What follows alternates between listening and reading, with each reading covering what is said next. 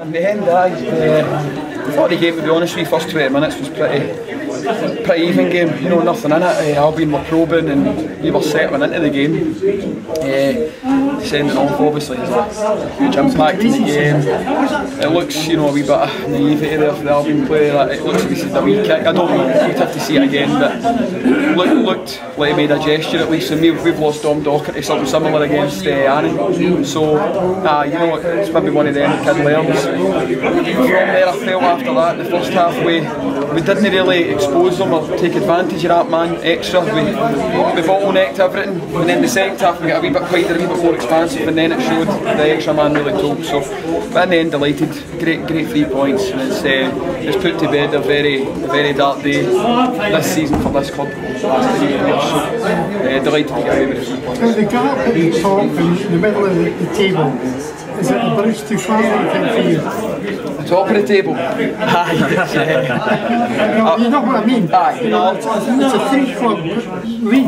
I've, uh, I've, I've said since I came in I wanted to catch the team in front. Uh, right now the team in front's Annan. Uh, I think that puts us six points, six points behind Annan. We've got the game in hand against Albion Rovers at our place. So, so right now at Annan we're the target. You know, if, if Cowdenbeath one their game in hand up at Peterhead, then obviously they become the target. So for me, just catch the team in front right now. And that's what we're focusing on. And listen, where it takes us is where it will take us, as long as our house is in order. Got that trick for Paisley. When was the last time you did that? I don't know. I remember him getting one against Motherwell at Fir Park many moons ago. St Johnstone game when I played with him. So I actually said to him before the game, the game today, you know, getting a hat trick uh, the team talk. So I might need to say that more often. But no, he's. I just, you know, listen. The wee man's for me is the best finisher in the league. In the box, he gets a chance. He sniffs out chances. He's got that natural ability. Uh, actually thought him and Big Dylan were, were pretty poor in the first half. To be honest, could have given us a lot more. In the second half, you know, they, they did improve and with that the rest of the team stepped up. So delighted with him, but delighted with all the boys.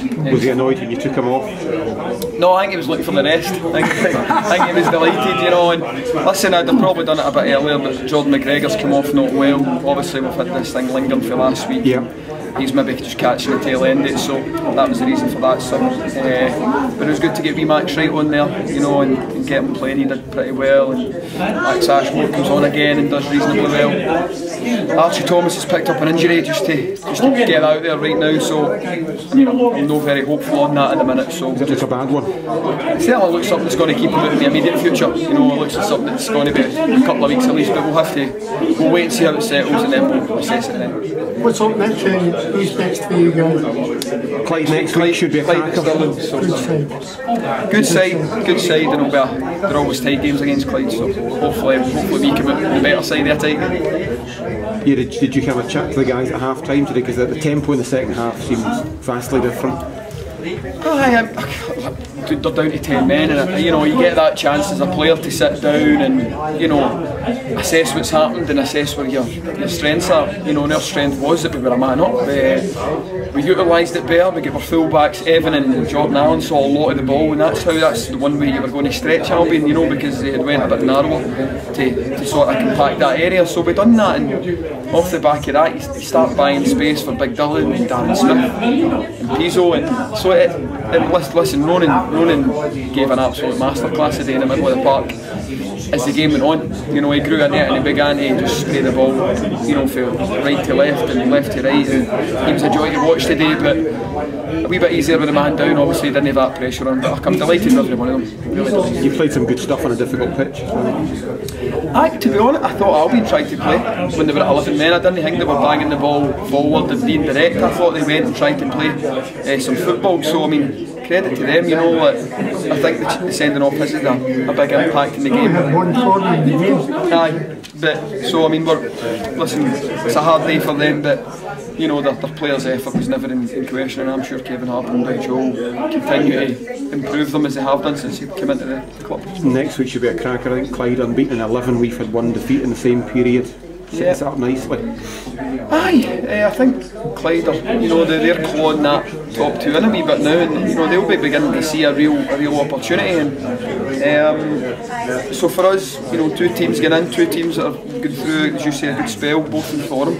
Um, in the last game we played them, you know, they, they got a, a late equaliser, so um, week one, we have a bit of belief that we can cause some problems. You know, certainly we, we know we can do that, but you know, we definitely have to tighten up and, and make sure things are a, a, wee bit more secure in and out of possession for, for what's going to be a, a right battle next week. I feel. Just one final one. Squad wise, you said you're probably done. Is that still the case? I would think so. Obviously, Archie Thomas, you know, we're going to have to sort of assess that.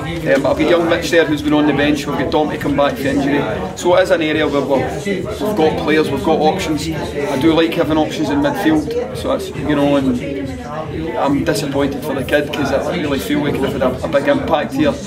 And obviously that bedding in, that initial phase is important. So as I say, we'll assess it. Hopefully, it's not as bad as we fear, and we get him back the short term. But really disappointed injury. But in terms of transfers, I would say we're, we're probably done minute.